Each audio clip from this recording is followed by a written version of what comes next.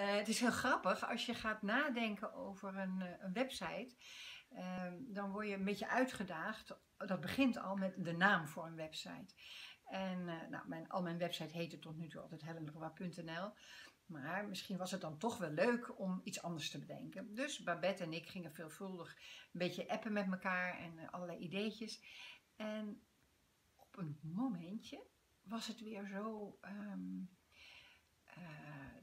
duidelijk dat, ehm, dat je eigenlijk altijd thuis bent.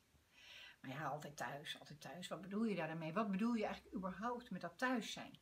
Nou, daar, daar, daar ehm, eh, heb ik het veelvuldig uh, over in de, in de sessies natuurlijk.